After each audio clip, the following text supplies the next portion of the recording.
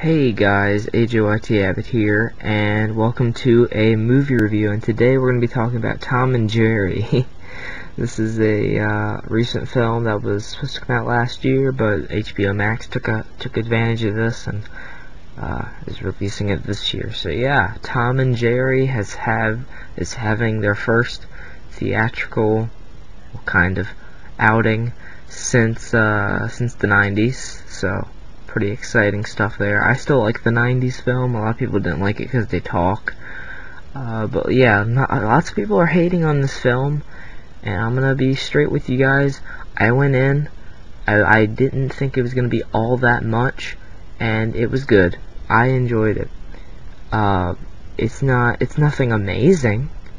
But, I mean, it's definitely not a horrible movie by, by any standards. I, I can see how people that, like, people that are like hardcore Tom and Jerry fans will be kind of pissed about this. Which I mean, I I enjoyed Tom and Jerry. Um, I don't know. I I never watched it consistently. I loved the movie though. The movie was on all the time for me because I had the VHS. So that was just it was always playing for me because I loved loved loved singing to the songs and just uh, I loved it.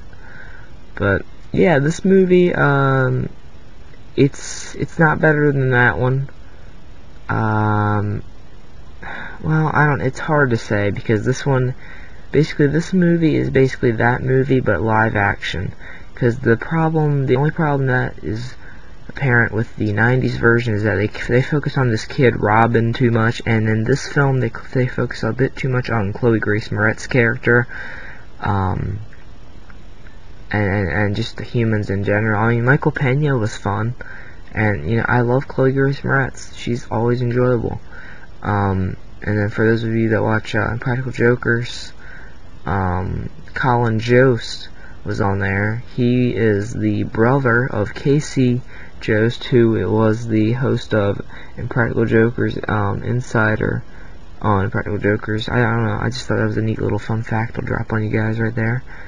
Um, yeah, it, it was fun. Yeah, there there was no there was no horrible acting in this by no standards. The acting was was good. The the, the cast was good. Um, Tom sings, but that's the only speaking part in the entire movie, which I was I was totally fine with that because Tom sings in the cartoon, so it made sense. Uh, they don't, yeah, they don't say anything else in the film, so that was the one thing that people were worried about that they were kind of hiding. Uh, but no, no. Uh, so the, basically the story centers around Tom and Jerry are in this hotel in New York because whenever cartoon characters go to the real world, it's always in New York for some reason. Um, I guess that's, not the case for Who Framed Roger Rabbit, but whatever. Um, yeah, Tom and Jerry are at this hotel. Chloe's Grace Moretz is kind of this outcast that, you know, no one really believes in. It's, yeah, it's honestly kind of the same story from the 90s version where we have Robin, the orphan. No one really believes in her, um, or no, not, not believes, but like, no one no one likes her. Let's be honest. No one likes her. Her aunt is mean. Her lawyer is just out for money, and just she's surrounded by a really bad, bad, bad group of people. And she's looking for her dad, who she knows will, you know, be open, be open with her and actually like her.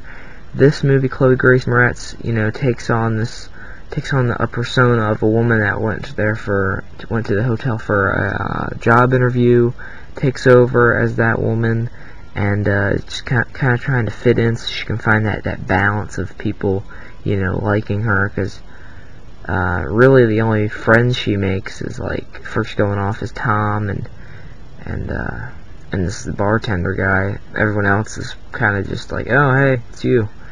But um, the jokes landed, most of them did. Uh, I will tell you this, they got major points at the beginning where Tom walks out of the subway and there's a poster in the background with Droopy on it. If you don't know who Droopy is, he's a dog that consistently shows up in Tom and Jerry uh, in, in the Tom and Jerry animated movies. I know that much. Um, he's basically the Stan Lee of the Tom and Jerry universe. Oh yeah. But yeah, he shows up in the, uh, the uh, later on in the film. But there's a part at the beginning where there's a poster that says "Put on a happy face," and it's Droopy with the Joker makeup and the suit on. I thought that was absolutely hilarious. That that was that was so well done. I was like, you guys get points for that. That was that was very well done.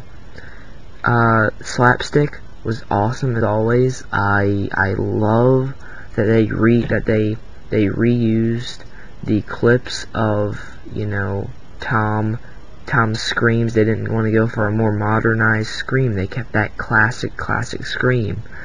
Um, like that ah, you know you know what I'm talking about.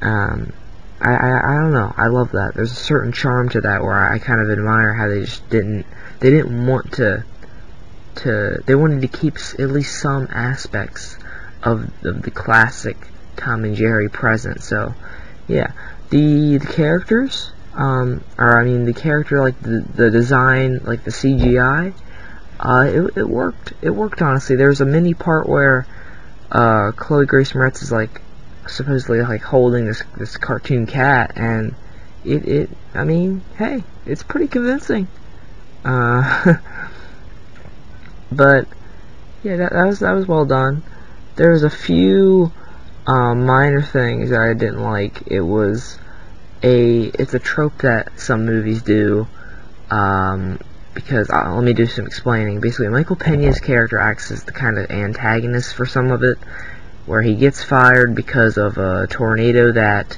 Tom, Jerry, and um, Spike caused by chasing each other around and around and around. It, it messes up the hotel quite a bit, but Michael Pena's character gets fired for it, and Chloe Grace Moretz gets promoted, so Michael Pena um, finds Tom and Jerry because Tom and Jerry have a best friend day where they go out and do special things with each other, which I know some people might not be a fan of, once again, because a lot of people's problems with that first movie, with the 1990s version movie, is because Tom and Jerry had to team up for majority of it. But I mean, nah, not really. I mean, okay, I'll, I'll give you, I'll give you this. The the greatest gift in life is is a friend. Like that song, nah, nah, nah, nah, nah, nah. That was not Tom and Jerry esque at all. That that didn't, that didn't belong in the film. But here, it uh, it, it feels good. Honestly, I guess it's because I haven't seen them in a movie for so long. It kind of feels good to just see them pal around a little bit. Uh, but yeah, of course, Michael Pena gets them um, taken in by by animal control, and he he kind of like interrogates them. It's a pretty good scene. But here's the thing that I don't like is they do the thing where Michael Pena tells Tom that Jerry has said a bunch of mean things about Tom, and he tells Jerry that Tom said a bunch of mean things about him. So he basically like flips their ideologies of each other, because at that point they're actually really good friends, and they're getting along, riding roller coasters and stuff like that. I can't remember if that's something they did or not, but um, because it's a very short montage. I mean, it's not going to leave that much impact on your watch experience unless you're like really really scarred from them being friends in the 90s version but yeah I'm not a fan of how they do that because I've seen that so much so many times it's kind of annoying there's a subplot about a wedding. Re really it's the main plot but it kind of feels like a subplot because you know Tom and Jerry uh, and then Chloe Grace Moretz's arc her arc. And they seem like they're setting up a romance but it doesn't really go that much of any place with her and the bartender, but yeah, Colin Jost and his his character, his wife, they're having a wedding, but the wedding kind of gets ruined when Tom and Jerry start fighting, and Ken Jeong is in this movie, but like he's not in it that much. He's just a chef that's kind of pissed off that Tom and Jerry's like running around just ruining stuff. He's not in it that much. I thought he was going to be it more than he was, but just a minor nitpick. But uh, yeah, it's it's nothing to really pat yourself on the back for after watching. You're just like, man, I'm glad I got through that. It's like, nah, it's it's it is enjoyable if you're in for a good laugh, people were like, you know, kids are not gonna like like kids shouldn't be like kids aren't gonna get into this because of the, you know the adult, not the adult stuff. I mean like the characters, the humans. You know, it was like kid, kids are watching it for Tom and Jerry. It's like, I mean, not exactly though, because there are some humorous moments within the human conversations where it's kind of uh, Chloe Grace Moretz is awkward. Marco, Michael, well, Michael Pena is kind of very uh, suspicious, and he's you know acting all cool. Uh, the the main hotel guy, the guy that runs the place, he's all charismatic all the time. Colin Jost kind of acts like like a like a featherhead most of the time. He's kind of like, yeah, let's let's do this for the wedding, and the wife's kind of like low key like not happy with it. The wife was a good character because you had a little bit of a mini arc with her not being happy with the way Colin Jost's character was, you know, taking over this wedding and just doing it over the top. She just wants a normal wedding. Uh, so that was, that was good. I, I feel like it's enough to keep kids invested though, because they definitely had enough Tom and Jerry in it for me to stay invested. Because, well, like the first like 15 minutes, it is majority of humans, but it's just setting up these characters and it's setting up future future things in the film. It's like, oh, there's a wedding, and then she's getting this job, but she stole it from this other woman, so that we're gonna have to deal with that later on in the film. And they, they yeah, the film ends with uh with them making on a makeshift wedding. I did like the montage with Tom and Jerry racing through the streets. Jerry's like on top of a drone as Tom's driving it. That was great to see. You love to see it. Uh, Chloe Grace Moretz setting up this this makeshift wedding with Colin Jost's character for the wife, and they they stop the wife's car and they steal the the cat, so then the wife has to go to the place where the wedding is, and they have the wedding, and she says yes and everything. And that worked out quite good. Uh, but of course, nothing good ever lasts as Tom and Jerry end up fighting near the end. But yeah, it was it was quite enjoyable because you just you have that you have you have a bit too much human stuff in there, but for me personally, it was enough Tom and Jerry where I was like, it's kind of balanced out. And I feel like it didn't really take a toll on the film as much for me personally because I enjoyed everyone that was in it. There wasn't really anyone that really stuck out like a sore thumb. Cause there's a side plot, there's like a side character named Joy that like, like she's creepy, like stay away from her, and like constantly she's revealing like, like needed, like valuable information. It's like, oh yeah, thanks, Joy.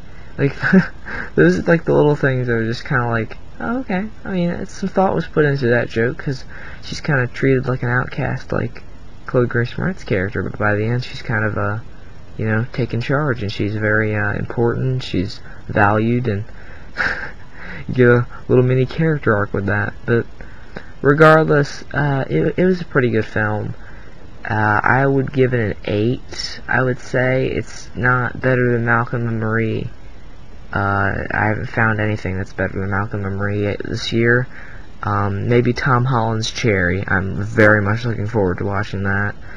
Uh, next movie review should either be Coming to America or like Raya and the Last Dragon or Chaos Walking. One of those three. But until the next one, uh, let me know what you guys thought of the film down in the comments below, and I'll see you guys in the next one. Take care, and goodbye.